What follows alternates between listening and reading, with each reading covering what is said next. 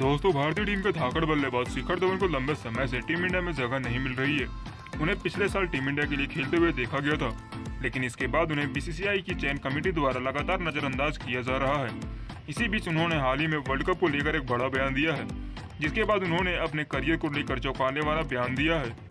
दरअसल हाल ही में आयोजित वनडे वर्ल्ड कप 2023 की आधिकारिक फ़िल्म के लॉन्च के मौके पर भारत के अनुभवी बल्लेबाज शिखर धवन ने बड़ा बयान दिया है। उनका कहना है कि वनडे वर्ल्ड कप खेलना किसी भी खिलाड़ी के लिए एक बेहद ही खास एहसास होता है।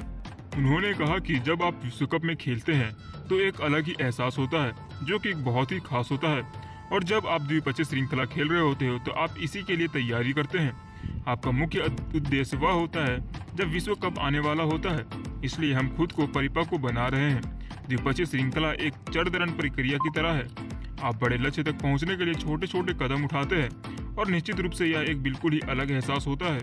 शिखर धवन इस इंटरव्यू में आगे काफ़ी भावुक होकर कहते हैं कि 2023 वर्ल्ड कप खेलना मेरा आखिरी इच्छा होगा। इसके बाद मैं अंतर्राष्ट्रीय क्रिकेट को खुशी खुशी अलविदा कह सकता हूँ। दोस्तों, अगर आप भी चाहते हैं कि शिखर धवन 2023 का वर्ल्ड कप खेले तो इस वीडियो का लाइक और चैनल को सब्सक्राइब ज़रूर कर दें।